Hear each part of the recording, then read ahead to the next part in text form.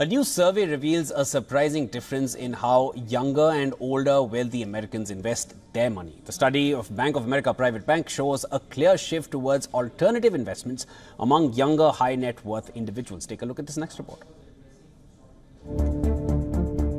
A new study by Bank of America Private Bank reveals a significant generational divide in how wealthy Americans invest their money.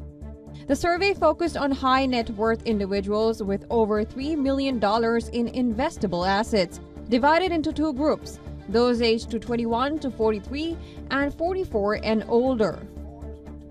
The findings highlight a clear shift among younger investors.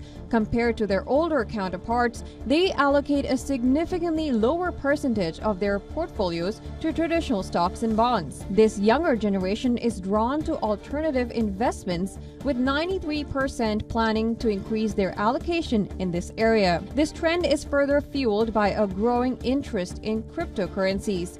Nearly half of the young investors own crypto, and many view it as a top opportunity for growth, placing it second only to real estate. This enthusiasm contrasts with older investors who remain largely invested in traditional asset classes.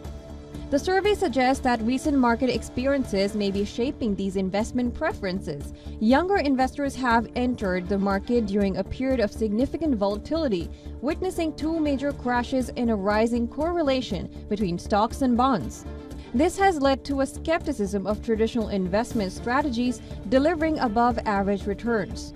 In contrast, older investors have likely experienced more stable market conditions and may hold a greater belief in the long term potential of stocks and bonds. The focus on alternative assets by younger investors suggests a long term perspective on their wealth management. Many alternative investments, such as private equity or hedge funds, tend to be less liquid than traditional stocks and bonds. This indicates a willingness among younger investors to potentially sacrifice short term liquidity for the chance of higher returns in the future. Business Bureau, WION, World is One.